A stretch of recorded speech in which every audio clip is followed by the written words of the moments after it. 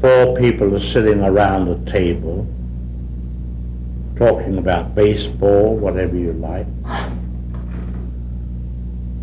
Five minutes of it, very dull. Suddenly, a bomb goes off, blows the people to smithereens. What do the audience have? Ten seconds of shock. Now take the same scene and tell the audience there is a bomb under that table and will go off in five minutes. Well, the whole emotion of the audience is totally different because you've given them that information that in five minutes' time that bomb will go off. Now the conversation about baseball becomes very vital because they're saying to you, don't be ridiculous, stop talking about baseball, there's a bomb under there.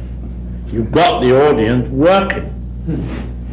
Now the only difference is, although I've been guilty of, in the picture sabotage of making this error, but I've never made it since, the bomb must never go off.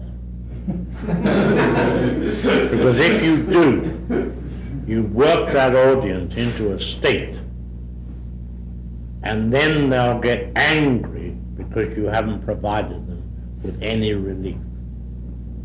And that's almost a must.